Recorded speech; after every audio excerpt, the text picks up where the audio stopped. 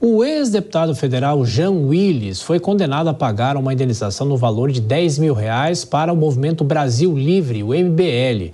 O ex-parlamentar fez uma publicação nas redes sociais se referindo aos integrantes do MBL como defensores do nazismo e assediadores de mulheres. A decisão foi tomada nesta quarta-feira pelo Tribunal de Justiça aqui de São Paulo. A justiça afirma que a publicação extrapolou os limites da liberdade de expressão e que afeta a honra dos integrantes do movimento Brasil Livre.